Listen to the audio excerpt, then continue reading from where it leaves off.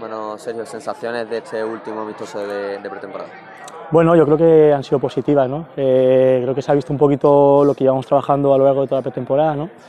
Los valores que queremos tener como, como equipo, eh, equipo pues, que trabaja mucho sin balón, que aprieta arriba, agresivo, y luego cuando, cuando recupera el balón, pues bueno, eh, tenemos las ideas claras también, de cuándo tenemos que darle pausa, de cuándo tenemos que atacar directo. Yo creo que se ha visto un poquito el resumen de todo lo que hemos trabajado durante la pretemporada se ha visto un poquito hoy y, ayer también, ¿no? Entonces, pues bueno, eh, el balance es positivo.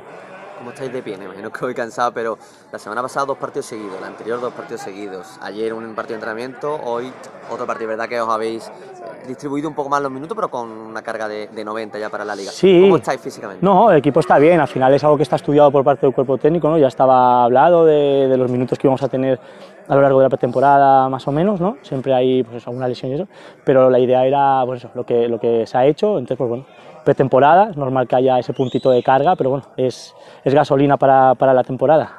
La lástima es la lesión de, de Sí, hemos hablado, creo que no, que no va a ser mucho, creo que ha sido el golpe por lo que estaban diciendo, pero bueno, creo que le van a hacer alguna prueba y, y veremos, ojalá, esperemos que que no sea nada y esa será la mejor noticia de hoy. Ya focalizado en esa semana, ha tenido día de descanso y a partir del lunes ya a pensar en el Mancha Real, imagino que con ganas de liga. ¿no? Sí, bueno, eso que tú dices, tenemos dos días ahora para desconectar un poquito, para recargar pilas y ya pensando en, en el domingo, ¿no? que es al final para lo que trabajas toda la pretemporada y la gente la verdad que está con mucha ilusión, con muchas ganas y al final lo que te gusta, ¿no? el, el competir y, y con ganas de que empiece ya. Y ya por último, personalmente, ¿cómo, ¿cómo estás? Ya lo hablamos en tu presentación que ya habías jugado algunos partidos, ¿cómo, cómo te estás viendo? Bueno, las sensaciones han sido positivas, creo que me ha adaptado bastante a, a esta posición, a lo que quiere el míster de mí y yo físicamente la verdad que me encuentro en, en un buen momento y esperemos que, bueno, que sea el puntito de, de partida ¿no? y de aquí para, para arriba y ya te digo, que las sensaciones son, son positivas tanto en lo colectivo como, como en lo individual.